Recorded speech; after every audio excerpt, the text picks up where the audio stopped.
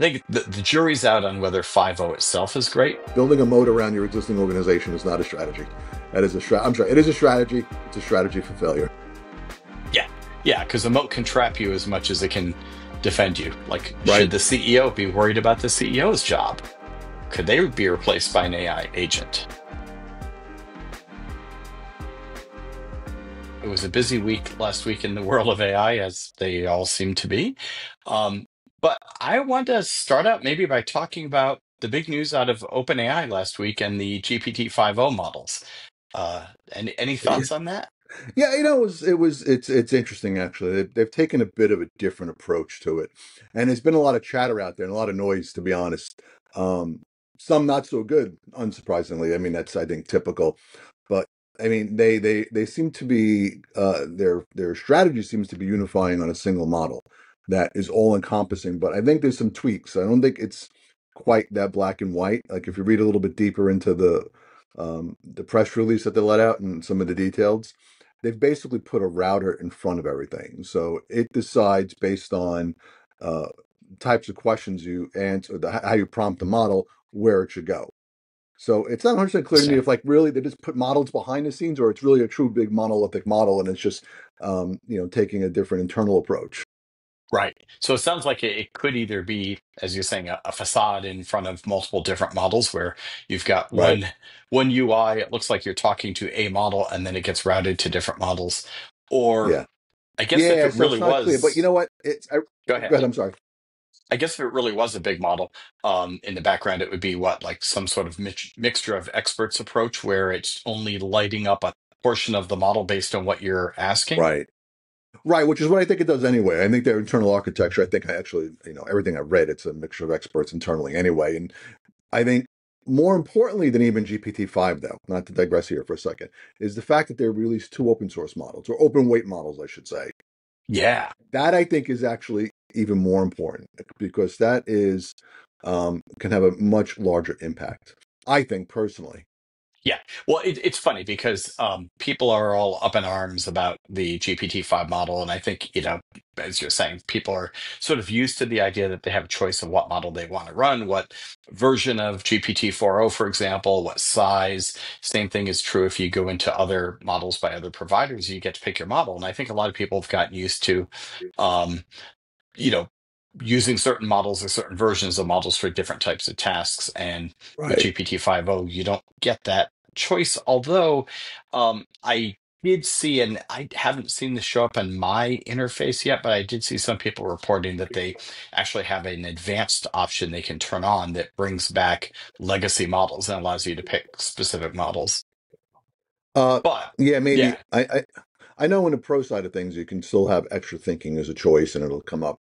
But this kind of begs the question, though, a little bit differently. You and I have we've touched on some of these things a couple of different times. One, I think when you're deploying commercial applications or just big applications in general, when they switch models, it can have an enormous impact on your application because you don't know yeah, what's going on in the covers. But I think even moreover, like what are the cost implications to this? Because in the past, you picked a model that was maybe smaller, but it was more appropriate for your um, problem that you were trying to solve, but it was less costly. Now, I haven't looked at the cost for five. I don't know what differences are there, um, so I can't opine on it yet. But I'm, I'm wondering, do the costs actually go up because the model is significantly larger? So you raise you raise two really good points. I think you know we'll have to look at what the cost structure looks like because on the surface, the idea that you no longer have the ability to manipulate the cost versus Right. performance by picking models could be a could be a, a drawback for some people. And then Right. um, what you were saying earlier too about the the models is interesting. I think that probably the biggest thing that's making people frustrated that I've read is that this new model just doesn't respond exactly the way that the models they were using previously did. Now, it's not the case for Right. everybody, but if you were picking certain versions of GPT-4o, uh, you remember like the um, sycophancy discussion we had a couple of months Right. ago when it started, you know, heaping praise on people, and now there apparently are people upset that their AI models are no longer heaping praise on them, and that's sort of a, a bizarre and unexpected example of this idea that when a model I changes, know. like you lose control of how it behaves. Um, I I, I, I find it quite amusing, actually. But and it, it, I, I think, honestly, if you want sycophancy back, just prompt it up front and saying, add a lot of sycophancy to your Right. response, and I'm Be sure you'll really get it nice to me back. today. I've had a rough day. Um, yes.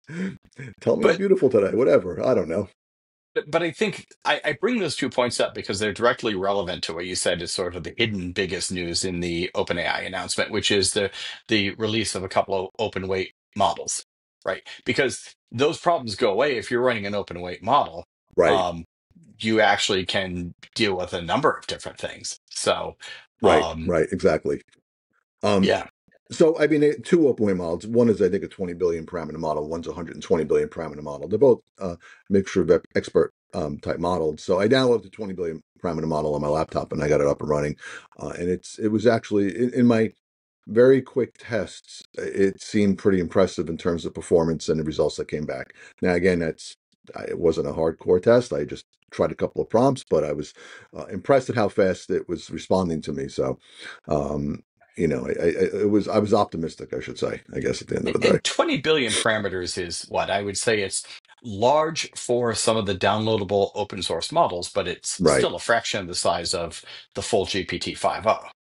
Oh yeah, I don't even have an idea how how big that actually is in, in in terms of parameters. I'm sure it's way north of a trillion plus parameters. The other thing they did was to keep the sizes down. They quantized the models, so I think it's uh, yeah they they quan- I think it's I want I want to say four bit, but I don't remember off the top of my head. But they definitely quantized them. They had to in order to get the performance and the size reduction that was necessary. They had to quantize them. N- not a surprise, So I guess the question that begs for me is, do you think the people using these models, I mean, I guess if you're going to download and run one of these models locally, you have to have a certain degree of of technical competency, right? right? It's not the same as just signing into a web interface. But what I wonder about is, are people going to be confused or caught off guard that this 20 billion parameter model, or even the 200 billion parameter model, it's not going to respond the same way that the web-based full full fat GPT-5.0 is. It- It's going to give you different results because it's a different Right. model. Do you think Uh, people are aware of that? um, You know, that's a really good question. But then again, I think the people that tend to be downloading these models are the more sophisticated users. They're the developers. They're the ones that are building, I would think, domain specific types of applications. Like I look at both of these models and, and to me, they reek of domain specific applications and fine tuning and using it for those things. And honestly, that's exactly why I would use it. I'm not using it to run it locally. I'm really using it because I want to include it in an application. So even in our case, I'm, I'm going to build an application around one of them because I think that's the right approach. Um, did OpenAI release any tools or frameworks to help with the fine-tuning of these models? Um, honestly, not that I know of. I haven't looked. I haven't looked deep enough yet. So I, I that is I'm going to embark on that today. That's one of the goals of today, and seeing what they actually did, what's there, um, and you know how rich the environment is around it, so we can see how easy it is to fine tune these types of models. Because I don't want to spend a fortune fine tuning a model, and I have to see what it's actually going to cost. And can I, in fact, do it on my laptop? Don't know. We'll see. Interesting. Well, we'll we'll be waiting to find We'll out find uh, the out. results. Um, Yeah. no, but I, I I think overall it, it was a you know a solid but probably not earth-shaking release of upgrade from 4.0 to 5.0 for for GPT. I mean, I've yet to see any any dramatic improvements in what it does. They do claim um, lower rates of hallucination, but again, I haven't been able to find Right. any benchmarks, any independent benchmarks that verify that that's the case. So. I think the, the jury's out on whether 5.0 itself is great, but the fact that we finally have um, open weight, open source models from uh, OpenAI is probably a big thing. Well, it's a big thing considering it's supposed to be a nonprofit. Um, I did see some stuff though in, in terms of metrics. For regards to health data, it's supposed to be the best model out there as of now.